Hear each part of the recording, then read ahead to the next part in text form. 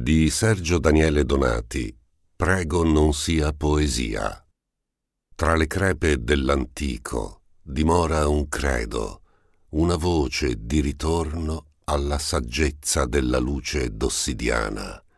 Cori di voci bambine aprono pugni d'adulti, colano sui palmi oli sacri e resine e ambre d'oro benedicono ogni inciampo.